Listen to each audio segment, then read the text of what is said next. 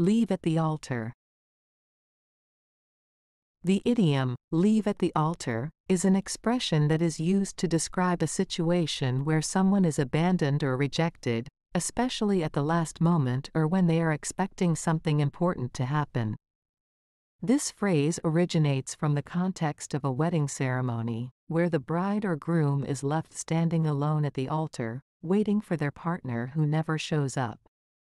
Here are a few examples to help illustrate the meaning of this idiom. 1. Jenny was devastated when her fiancé left her at the altar. She had spent months planning the wedding, only to have him change his mind at the last minute. 2.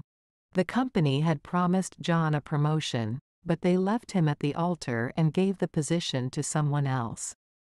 He felt betrayed and disappointed. 3. Sarah had prepared a surprise birthday party for her best friend, but everyone cancelled at the last moment, leaving her at the altar. She felt hurt and let down. 4. The team had been counting on their star player to win the championship, but he got injured right before the final game and was left at the altar. They had to find a way to win without him. In all these examples, the idiom, leave at the altar, is used to convey a sense of disappointment, betrayal, or abandonment when someone is let down or rejected at a crucial moment.